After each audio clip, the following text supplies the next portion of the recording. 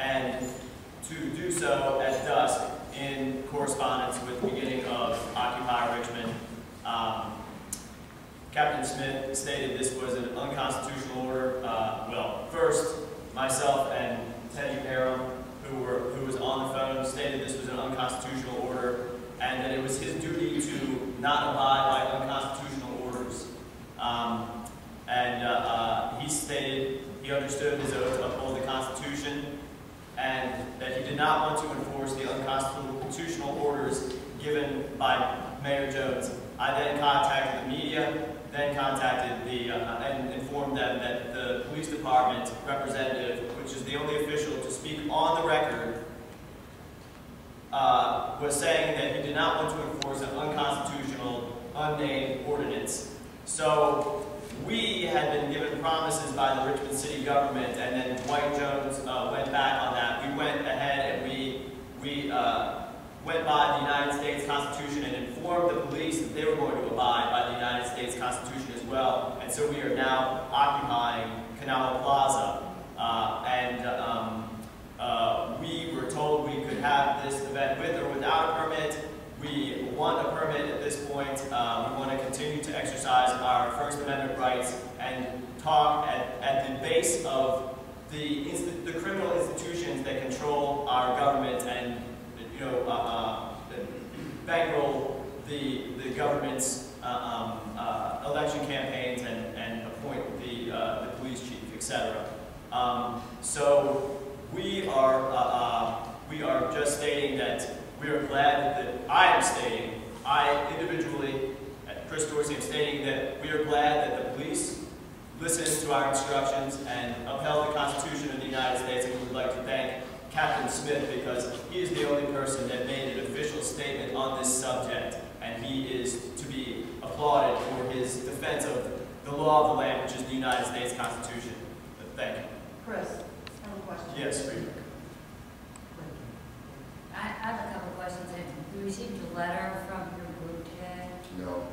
We did. So this is, this is, this is not from Occupy Richmond. It's from It's from an an individual in Occupy Richmond. now. Okay, but They it's have not seen that. an official letter from Occupy Richmond, okay. Uh, I however, was just curious as to whether this was an official letter from Occupy Richmond. I mean, I don't know what official means as far as Occupy Richmond goes, but, but, uh, uh, talking to other organizers just now, uh, I think that they'll speak to this as well. We, we would, we would, we were trying to go through, you know, every process that we've had, and we've had the, you know, police cooperate with us greatly because, you know, we agreed to peaceably assemble and to regulate ourselves, and, uh, uh, and we have been peaceably assembling and, and addressing our grievances directly to the people who, who control, control the government. So, But you, I just want to make sure I got that straight, and then I have one more question. The this letter comes from individuals as a. That, that comes from an individual. Okay. The only people who That was my question, sir. You answered my question, thank you. My other question was, in terms of occupying that um, property, is, was you ever asked to sign a waiver that if somebody got hurt during that occupation, the city gave you permission to occupy that land, that if someone got hurt, we would not sue the city? Were you ever asked to sign a waiver like that? We were directed by the only people that we could get in contact from the city government was Captain Smith and at a later date, Norwood and Drew and uh, a representative from the mayor's office uh, called me on Saturday afternoon after I made a few phone calls and advised the mayor that he should rethink his, what some in the government were calling unconstitutional and fascist tactics. He started backing away and the mayor said that there was never, he never confirmed or denied he even gave the order. So we were trying to comply with everything. We were told we didn't need a permit and that we would get a permit. Uh, and then we were told everything's fine, we're not going to get in the way of doing anything but upholding the First Amendment to the Constitution, which was our guarantee. Um, and uh, uh, we are trying to comply with whatever we have to comply with. So you were never, you as a person, you never asked to sign a waiver, is what you're saying? I am saying I'm an individual in the group. I was the only one, as far as I know, speaking to any government official. And as far as I know, that was not happening. However, it's possible, but I, I doubt. it. I think you.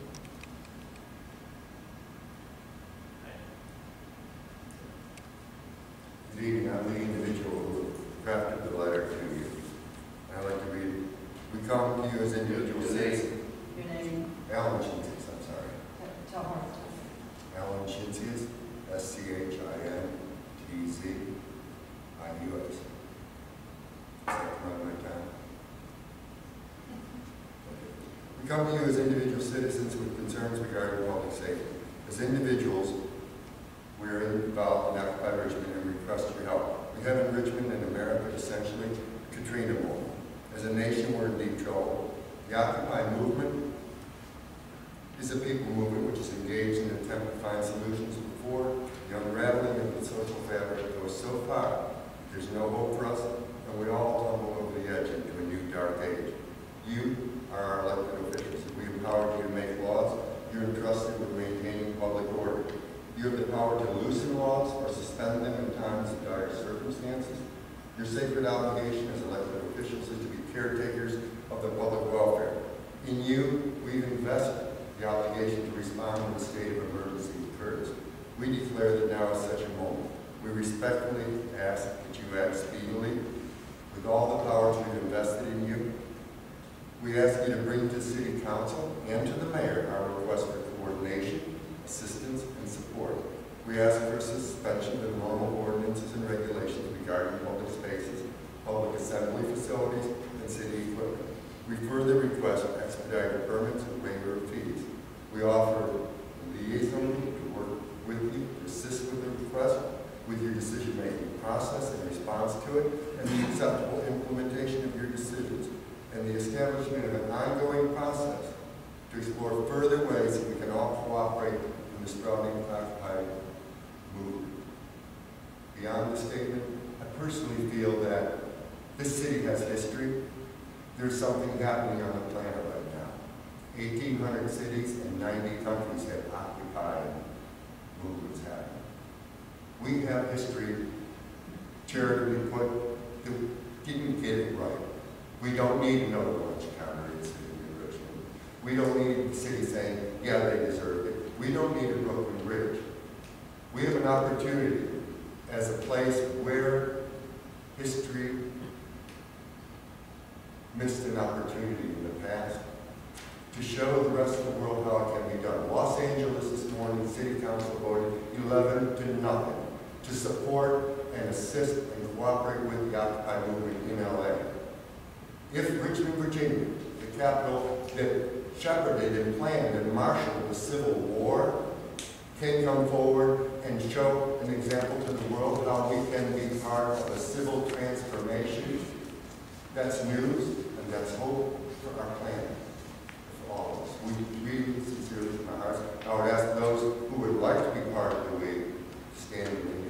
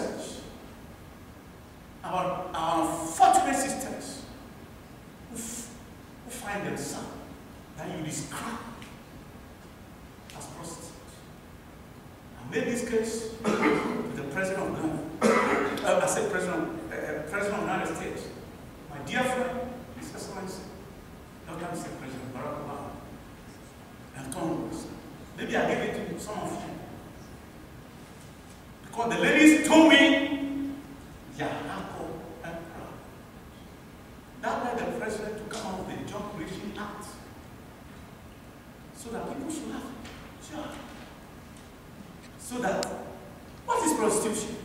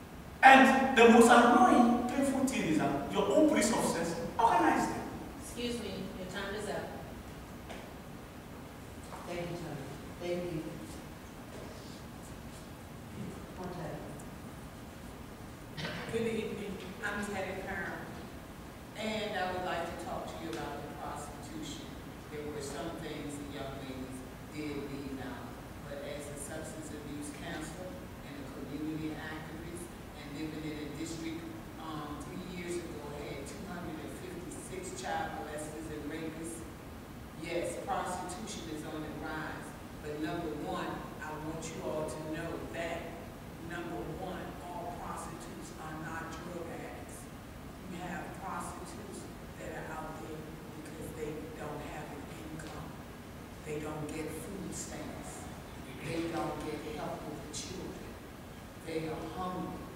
Their children are hungry.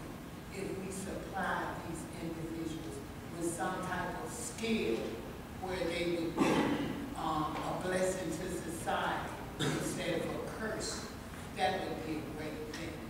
Prostitution has been around longer than all of us combined, and it will continue. My thing is, you talk about the Rubicon Center that is in my district in the sixth district, and that is a gateway from hell. The Rubicon is open twenty-four hours a day. We have addicts, um, trespassing and doing their thing, walking around like zombies, twenty-four hours, seven days a week. Then we have the, um, hospice house from the Daily Planet thrown over there. Now, people die, we don't know from what, but they have joined in, in the community. There is a lot going on. Actually, Richmond needs to grow up and progress. We want people to come into this city, we need a red light district. We need to make prostitution legal.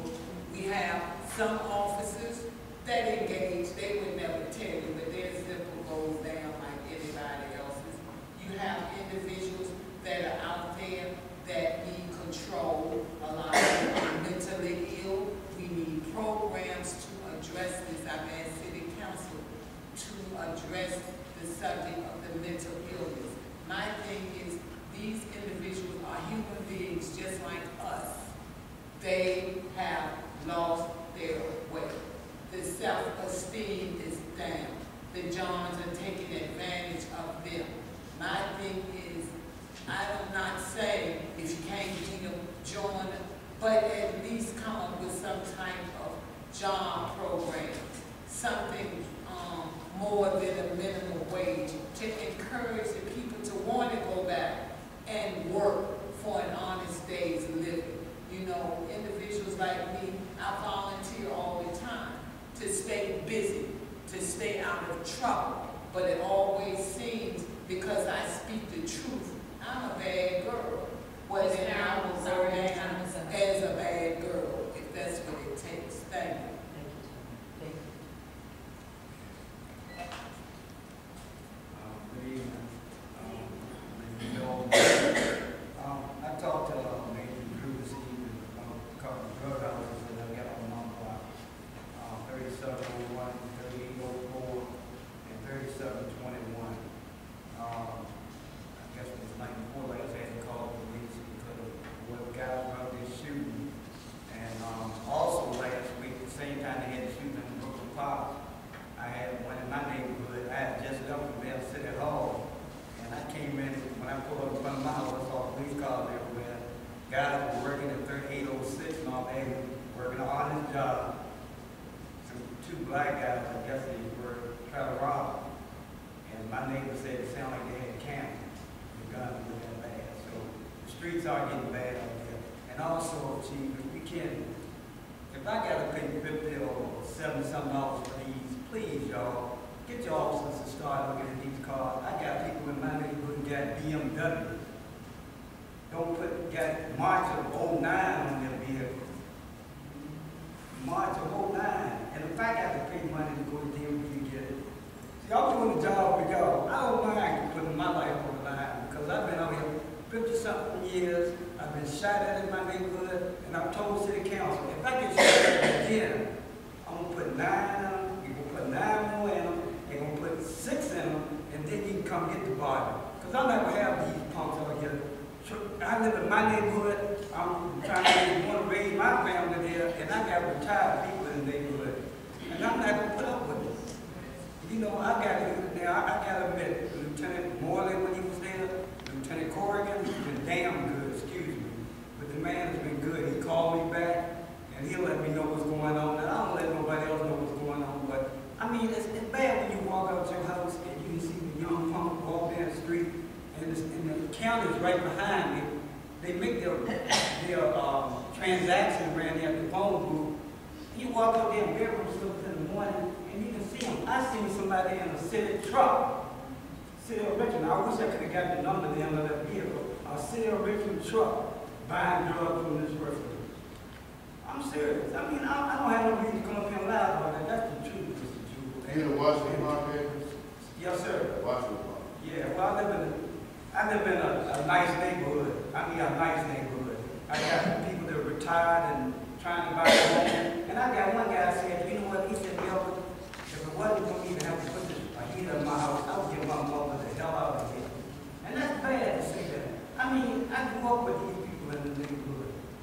You know, and I never seen it like that. mean, this, you know, I mean, I, I don't, I don't be riding out there looking for stuff. I mean, I mean, something simple like this. I mean, a patrolman, man, you know how much money the city could get off of this you go court if a person don't have their decal, decal on their car?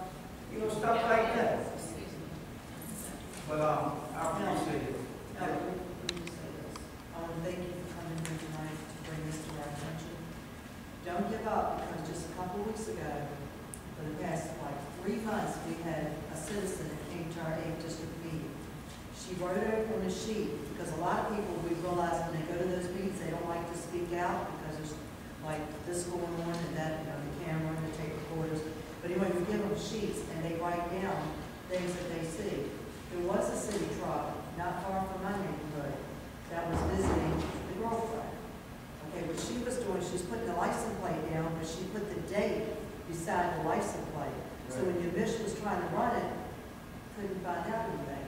Last meeting, she wrote down just the tag number and no dates, and just put on there, I'm sick and tired of reporting this. Well, with the police help and with UMich, they got the person. And he wasn't, he was a part-time city So worker. a Driving city truck. City, city, you know, city, city tax, you know, But- see something like that, you know. But that's, that's because the neighbor decided to take it upon herself, elderly, a lot older than you, but she wanted to get this person because she thought the same way, she feels the same way that most seniors feel, that work and pay taxes and say, why is this happening? A city truck coming over here, not ten minutes, but an hour, not once a day, but twice a day. And the police was able to get them, got, got them. I just want to say one thing. And see, like, if I go out here and I get myself in trouble, I got to go through a whole lot of hell to get That's right, that's why you leave it up to know, the police, they can walk up and down the street, and you know, and I, and I, and I wish the common attorney was still here. They need to give more time. They need to go back to this gun crime thing, because anytime the police lieutenant tell me that certain guys in my neighborhood get caught with guns, and they back, and just like you just said, Mr. Chairman, we see a prostitute back on the street, this little young punk there with his mama, he back out on the street and got caught with two guns. I don't understand it. And you ask me why I'm gonna gonna, keep loaded? I'm gonna keep loaded. And I'm not gonna have them shoot at. I'm telling you, I'm not gonna have them shoot at me. Mel, you want to know something? You feel the same way that I feel. I've been fighting since nineteen ninety-five, and you know, when you come Yeah, down right here, when, um, Manoli Loupassi was the chairperson of public safety, we were hollering and screaming about prostitutes, and, and I, and I, I understand how these police officers feel. They get out there, they arrest them, they go to court, whatever, slapped on the hand, don't have the money for this and that, right back on the street, right back in our neighborhood again, laughing at us. Ha ha, we saw you doing court watch, but guess what, we back out here. But it's not their fault, it's something that, I can't remember the lady's name, who was she, Kathy? McKeechin? She needs to pay attention to us. She's gonna come here, she needs to pay attention, because it's not, it's not all their fault. It starts up here with the, you know what I'm talking about, with the judges, and sometimes the judges get frustrated too, because their hands are tied. Maybe as, I had a note right here, and I think Kathy asked a question about the General Assembly. Well, if it's not an issue or a problem that only one one or two council members see, I gotta have the other council members backing me. And as Marty said, he, do- he needs to come over my district and see it, and I appreciate that. And I know Bruce has said the same thing. This is something they've been yelling and screaming about. I don't have it, they have it. It's a major issue because it's just not prostitution, it's, it's the, the AIDS virus out there they're carrying, it's the other criminal activity, breaking and entering, um, throwing their, their trash all in the street and things like that. It's So- bad, you you go out there working, it's like, trying to, I mean, broad daylight. That was Well, that's why we need you to help us and help the police, but not, not say that they're not doing it, because they are doing it. Well, I'm not saying they're not We all gotta come together and, and don't give up, just don't give up now. I You hard. gave that information to, you said Major Steve Yeah, Drew. yeah, Drew, yeah. I known him since nineteen ninety-five, believe me, if you give that to him, I know. I These have a majors problem. too, that's how they made major, because they have worked with us. They have worked in those districts, in those neighborhoods, and helped. Anyone else? Thank you. Anyone? Yes, sir. Hello, my name is Graham Evans, and I come here as a member of the Occupy movement as well. Um, I wanted to say that this is a leaderless movement, and that's why I don't need to make an official statement on behalf of the movement to you today, because it is leaderless. do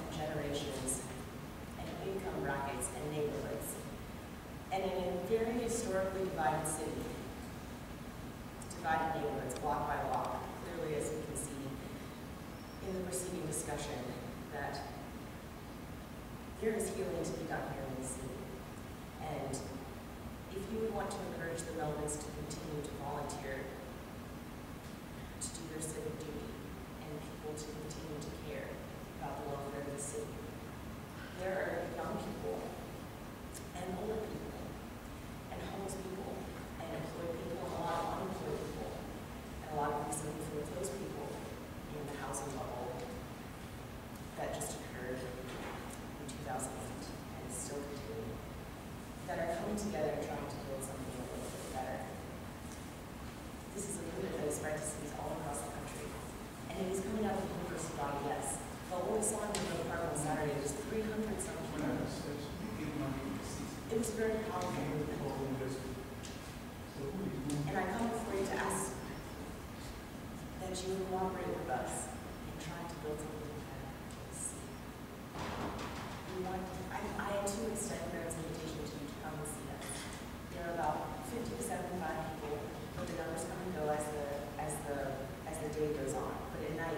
the solid need about 50 75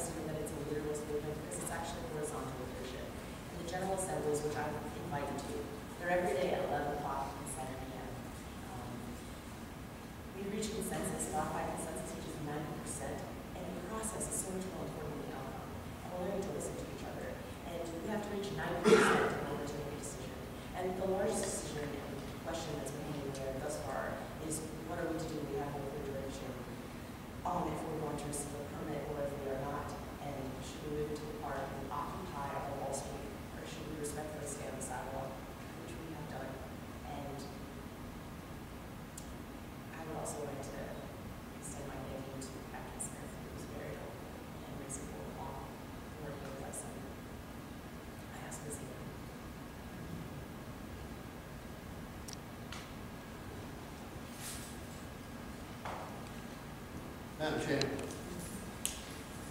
Uh.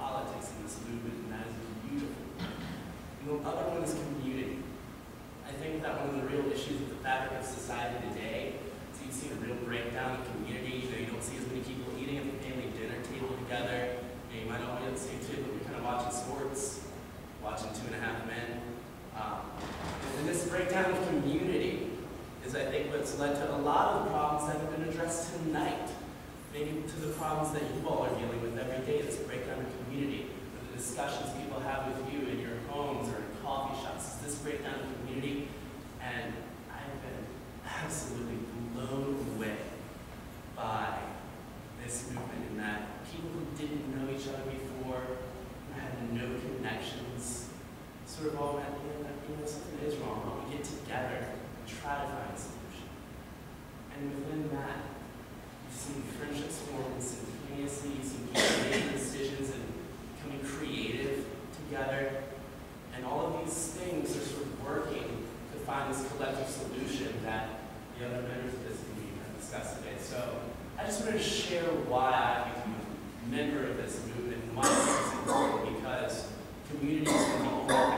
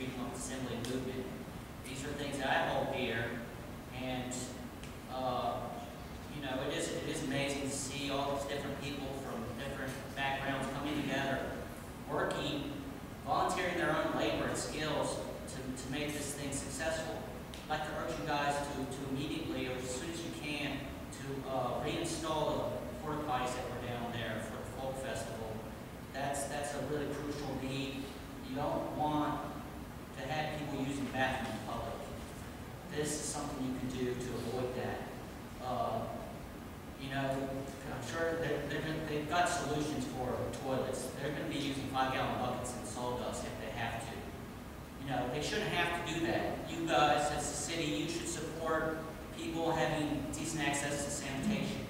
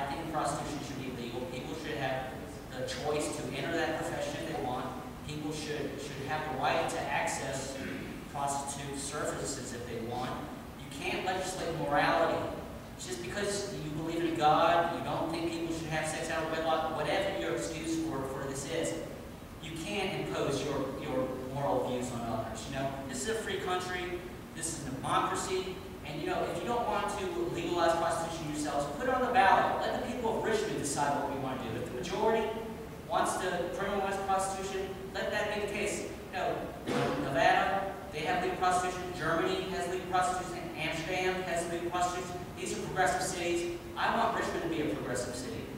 I know you, you probably disagree, but thank you for the opportunity to come. Yeah, let me just say something. I don't think that, um, that the neighbors or, Well, that's why, that's why you have it regulated, so there's like, they, they do it in a house of business, and, and they, they're tested for diseases, you make money from taxation, you, you quit wasting these guys' resources on enforcement and the courts. okay, well, I had something for you, but since you want to sit down, I'll bring it to someone attention. Um, come up, Al, I want to ask you something. When did the, um, when did the toilets go over there? My understanding, Christie, can speak that they were there when we arrived, when I didn't go, when they arrived on Friday night. right? Friday night? Saturday night, sorry. They were there Saturday night? down there. Whether they were there for the folk festival or whether Captain Smith got them down there, I knew. But reports this afternoon said that the company that brought them showed up to take them away. And we reached out to the city, through Marty, and to the CAO to please keep porta potties there. I mean, there's going to be a whole list of things happening. That, that, there is nobody to sign a permit. There, there's, we need a way to work out and to be in, be in official contact. We need a liaison the clerk doesn't know what to do when one person comes in and says, I want a permit for occupied. You understand the problem? And what I don't want is for this thing to go off the rails. I don't want Brooklyn Bridge because somebody takes off and the kids are down there sleeping. They're, we- officially, we're supposed to be on the sidewalk. But they have, to they have to go lay down on the grass. They're going to sleep. They need tents. There's going to be rains coming. And following the rains, there's going to be snow coming. And my old tired bones come January, I'm not going to want to be sitting in the grass in the city park for an assembly. I want to be in a heated place with a microphone where my tired old bones can really do the things. There's, there's all kinds of areas that there needs to be addressed to keep this thing sane, civil, and, I'm sorry. I need some help. There, Just a point of not, wait a clarification. minute, wait a minute, Chris, wait a minute. I'm talking to him. Wait a minute. Right, but that was incorrect information that he was giving. There are porta potties still down there, and the porta potties were put down there on Friday. Let, let, let me, let me interject for a second. I, I talked with the CAO this afternoon, and he says that they provided porta potty- There are. potties for, what? For the weekend. For the weekend, all right? And so if they were about to move them, it was because the weekend is up. Now. And so I asked him if he could maybe leave them there uh, until we could have this meeting tonight, where we can have a discussion, and hopefully with the police and the CAO, we could work out an interim set of steps that we going forward, that we can agree to until we figure out how best to accommodate the larger situation, right? And he agreed. So let's hear the issue, but let's not complicate it with a whole lot of back and forth. Okay, but just this point of clarification, because the first thing that Captain Smith said, as he was the only government official to speak on the record in regards to any of this occupation, Richmond, he stated that he had provided part of what he promised, which was porta potties and extra garbage cans, which are still down there. There are still porta potties down there. Okay, and, and that was not as something associated with the folk festival, no, according to Captain Smith and and uh, uh CAO Marshall and, and, and uh, Mayor Jones are putting out dictates then they're backtracking and they're not even confirming or denying when they think they might be a constitutional issue. But let, let's not deal with all of that. Alan is, now, Alan has the floor. I, I don't want to Just shut wanted to you point down. out information on misinformation. All right, but let's not go into all the other stuff. We, we've got work to do. Um, you, had you finished? Thank you, Alan, thank you. I, I want to tell you about Alan him. He- him and I have been partners in crime for many years. And Don't tell Marty. And uh, this guy, I've seen him in, in the attempt to save the historic Jacob House over behind the, old- the engineering school. I mean, he's on TV, so it's public information. Uh, laid down in front of the bulldozer to keep them from moving that historic building and, and, and damaging it. Um, the, the, the emergency radio station that we have adopted, WRIR, as our emergency outlet uh, for the citizens of Richmond. Adam was chairman of the board, Virginia Center for the Public Press, that created this thing. Josh,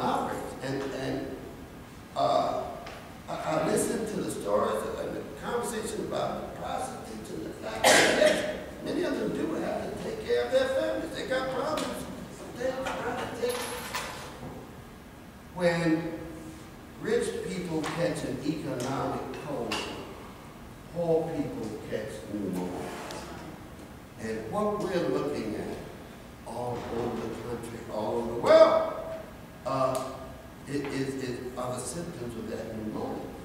Um, and they are saying it's got to stop. We have to, it seems to me, support their free speech right, number one, to, to ask for redress from their government, on the one hand, and they're here asking to do so and, and be respected for doing so and doing it orderly.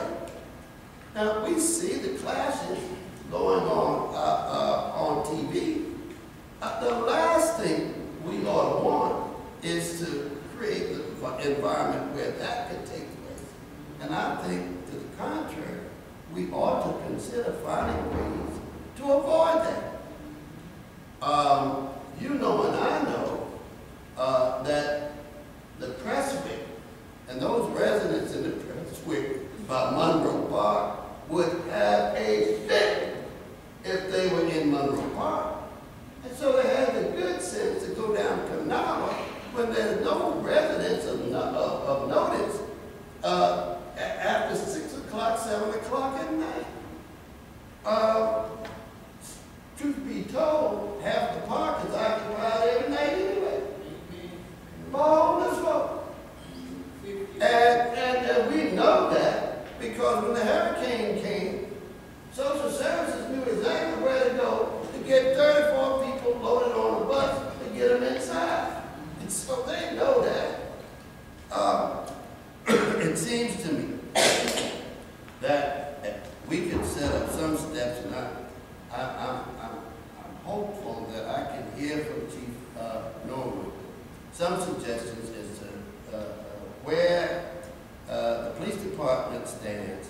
Uh, Comments about uh, Mayor Jones having put out a dictate to do this, that, and the other.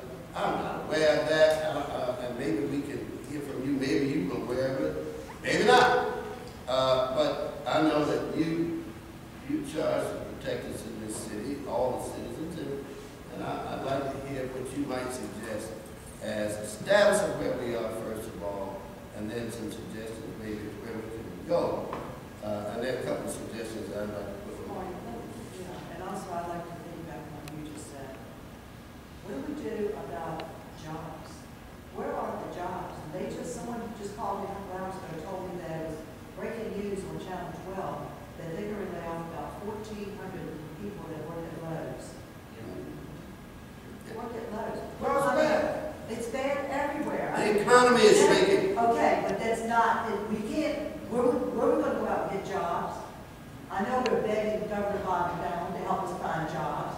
Is the mayor out there helping to find jobs? No. Uh, That's, I mean, that, you can't, you can't throw this, the burden on the police. I don't think that, you know, there is a CAO and there is a mayor, and we've already heard this mayor say that he's the mayor of Richmond, Virginia, okay? Where is he at? Where's the CAO? Not to just throw it down on the chief and, and these police officers. Where is the CAO or the mayor? Well, to answer some of these questions, because I was called Friday night at, when I was at, I was called Friday night about them being told that they would have to get off the island, get off of here, get off of there. And I couldn't come out there because they knew I had death of a senior. But they were all upset, calling me, Josh was calling me, I tried to call you back. And then the next thing you know, the police were being blamed for It had not been all of the police. The police is, is doing whatever he or she is directed to do. Now, the problem is, you all come before council and bring this up because you all know that the mayor sits right up there before the council meeting when there's awards. So come there and ask him, report him and ask him. That's, I mean, now that you're here and I'm We here, don't have they got some bullets there. we don't have They're still there, they're still there. You already said the homeless people there, we not, we haven't moved them out. Don't know how long they're gonna be there. What we need to do is step by step, get an understanding of where we are, what we can do. There are things that I can do, and individually, we can do as council people to sort of, uh, lead us into a more comprehensive idea of how, how we're gonna relate with this movement down here. They are not going away. We will not. Now, that much I can tell. And, and, and if we're gonna uh, acknowledge that, then we need to know how to keep as peaceful as possible. I, I happen to know that some of the anarchists are part of the group, uh, that have, I mean, they are brilliant folk, but some of them have got a hair trigger. And one or two of them could literally inflame things and cause havoc for everybody else. Uh, and this early in the game, I think we can avoid it if we with some degree of, of well, some degree, the fierce urgency of now to address what it is we need to do in order to accommodate, uh, uh, the best outcome that we can get. And that does not mean that Councilman Marty Jewell is telling you all to go out there and protest and riot or whatever. So let's get that straight right here. He's not telling you all to do that, Absolutely. okay? Yeah, I think that we have had all this discussion. We have not heard from the chief. We have not heard what, what is being done on that side. But I would just say that I sit here and listen to speakers, that I'm very excited for them that they want to participate. Um, However, what I did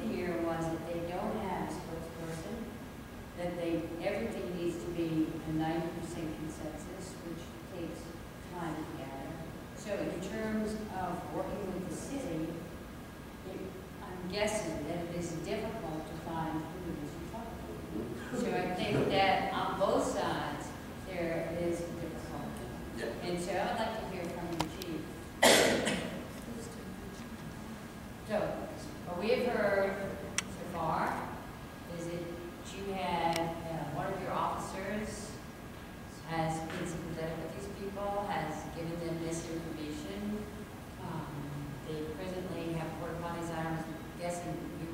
not involved in the porta potty discussion, but it would be helpful for us to know from your perspective where we are in this situation. Thus far, um, we've had a working relationship with a few folks uh, representing the Occupy Richmond movement. We started in pre-planning for the movement itself, um, uh, continued that conversation during the Park piece of the puzzle, subsequently, as we move down to Kanawha Plaza. Uh, thus far,